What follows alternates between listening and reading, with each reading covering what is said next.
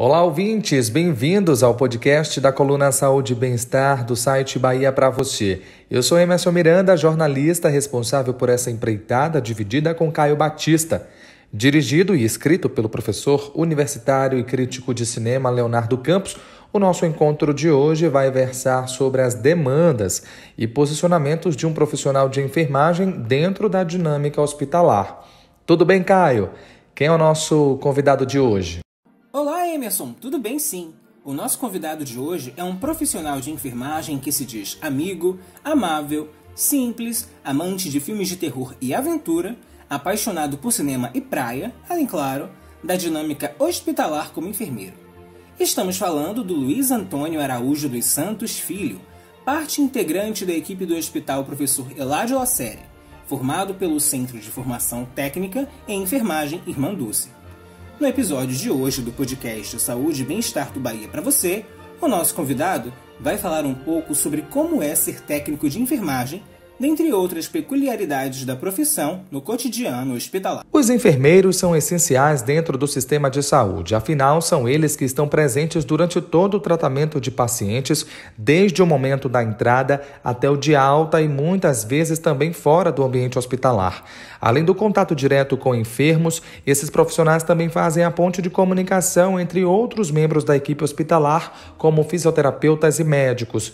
Os enfermeiros, técnicos e auxiliares de enfermagem são peças-chave no enfrentamento de grandes desafios da atenção básica a pacientes. As atribuições dos enfermeiros alcançam diversos parâmetros, como prevenção, reabilitação da saúde e outras práticas, e têm a incumbência de realizar os primeiros socorros a pacientes em casos graves e de alto grau de complexidade. Mas por qual motivo você escolheu o caminho da enfermagem?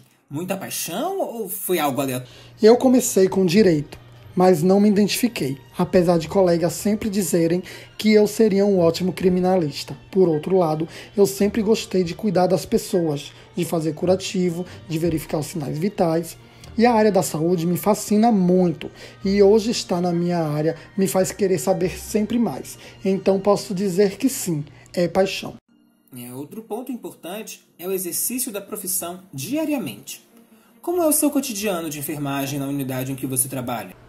Meu cotidiano é maravilhoso. Eu chego no hospital, coloco minha farda, vou fazer a visita dos meus pacientes, vou verificar os sinais vitais, quer verificar a temperatura, aferir a pressão, olhar o HGT, quer dar uma olhada na glicemia do paciente para ver se está normal, dou os meus medicamentos, aí vou dar os meus banhos nos leitos, vou fazer os curativos e depois vou evoluir, né? Que é anotar tudo aquilo que realizei e verifiquei no paciente. O dia no hospital é um dia são tranquilo, outros dias são corridos, porque por conta da nossa cidade que é um pouco violenta, chega pessoas em situações graves, de vítima de PAF, que é perfuração por arma de fogo, ou acidente de moto, carro, e aí é aquela correria total, né?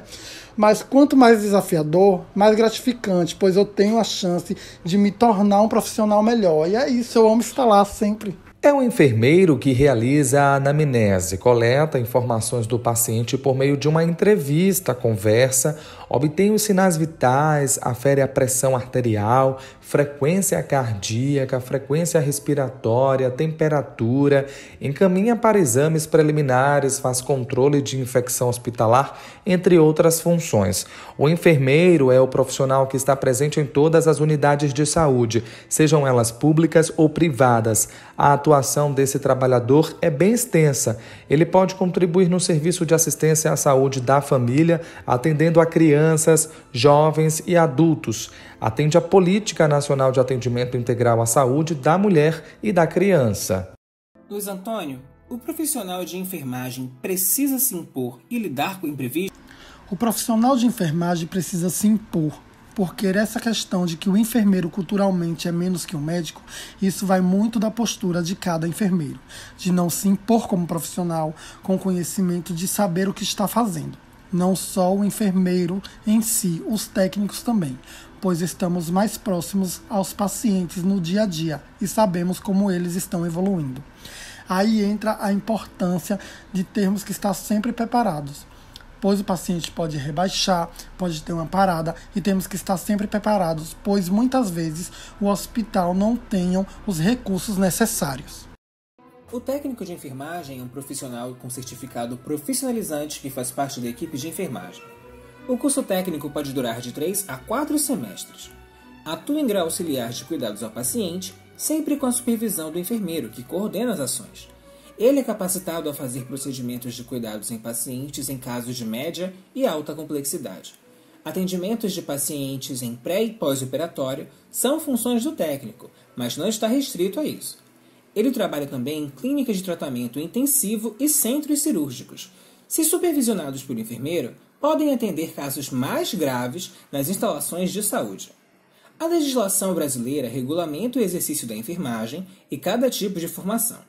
A Lei nº 7.498, que tipifica a prática, coloca as diretrizes para cada modalidade e as diferenças são claras para as graduações.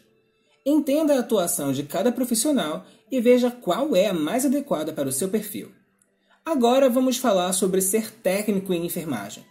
O que você tem a dizer aos outros jovens que desejam se tornar enfermeiros? É uma área de trabalho favorita? Para ser enfermeiro ou técnico, não basta ter amor para ajudar as pessoas. É preciso também ter determinação, estudar muito, saber lidar com pessoas, estar atento, ter o emocional controlado, pois surgem situações inesperadas e extremas. Ser firme, ser agradável, ser forte, pois vamos lidar com muito sangue, feridas, secreções e muita gente não suporta isso. É uma, é uma profissão boa, com áreas extensas para trabalhar, como qualquer outro emprego. É preciso foco, determinação, amor, que você tenha um, uma linda carreira e seja um ótimo profissional. Então siga em frente, vai lá, busca o seu melhor e venha para cá, junto comigo, né? Trabalhar e ajudar os outros. Enquanto conversávamos nos bastidores, Luiz Antônio dizia que o acolhimento é um dos tópicos mais importantes das ações na enfermagem. Comenta para os nossos ouvintes, pode ser? O acolhimento é uma postura ética que implica na escuta do paciente em suas queixas, no reconhecimento de seu protagonismo no processo de saúde e adoecimento. É importante o acolhimento para que aconteça a organização das filas de espera no serviço de saúde, para que aqueles usuários que precisam mais sejam atendidos com prioridade e não por ordem de chegada, senão assim virará uma bagunça. O enfermeiro tem que lidar com a diversidade? Sim, não só os enfermeiros, mas todos: médicos, fisioterapeutas, professores, advogados, entre outros. Devemos respeitar as diferenças, que abrangem religião, orientação sexual, ter mais empatia. As diferenças não estão apenas só no aspecto físico, mas também na forma de como o indivíduo enxerga o mundo principalmente no hospital onde estamos apenas para salvar vidas e não julgar e ou negar socorro só por não pensarmos ou agirmos da mesma forma. E esse foi o podcast para a coluna Saúde e Bem-Estar do Bahia para você. Hoje com foco na enfermagem. Na próxima edição, nosso convidado voltará a nos encontrar para refletir sobre os desafios da atuação no campo profissional. Até lá!